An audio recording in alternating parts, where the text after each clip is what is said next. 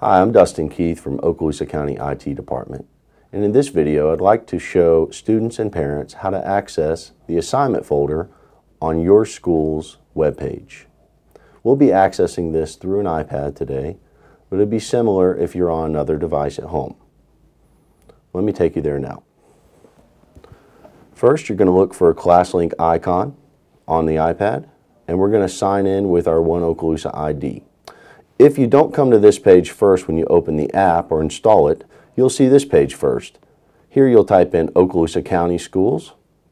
It'll come up, you'll select it, and you'll get back to the login page we showed first. Click here, and this again is your student's One Okaloosa ID. In this case, we're going to use john.test and sign in to ClassLink.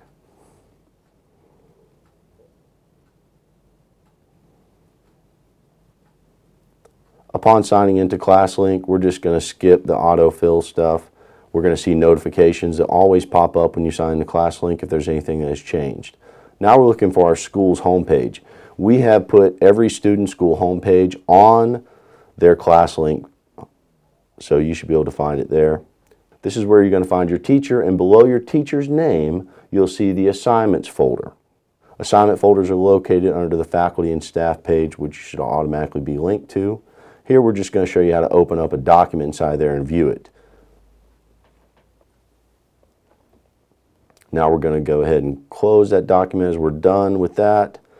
And we'll just show you that there's a sign out portion on an iPad. You can sign out there. It takes you back to the sign in page. Thanks for watching.